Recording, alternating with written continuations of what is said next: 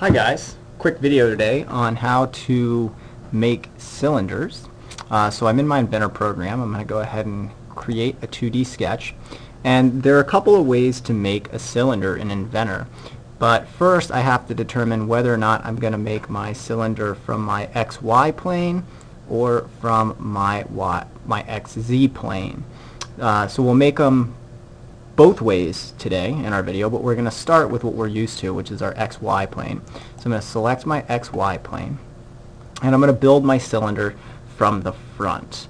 Uh, so basically, I'm just going to make a 1 inch by 5 inch cylinder, uh, which I can do by starting with a rectangle when building it from the front view. So I'll go ahead and make my rectangle and just dimension it um, I want my cylinder to be one inch diameter so I'm going to go ahead and do half of that here a half inch diameter because I'm going to revolve this shape around.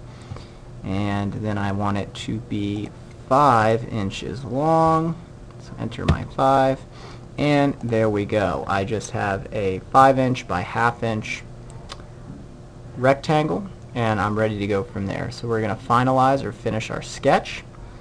And now I have my sketch and typically what we've done in the past is we've used the extrude function. Today we're going to use the revolve function and we're going to revolve this rectangle around the axis to make a cylinder.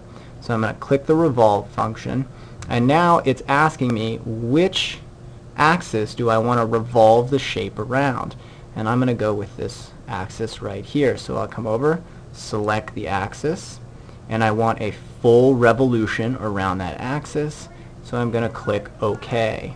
And here we go we have our cylinder made on our XY plane. So let's go back and see how we can make a cylinder on the XZ plane.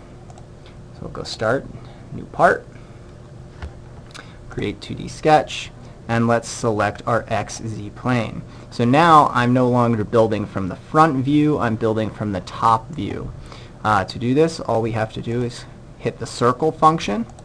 We'll make a circle, and remember my diameter is going to be 1 inch, so I'll dimension this circle to 1 inch, enter, hit my home button, and I'm ready to finish sketch.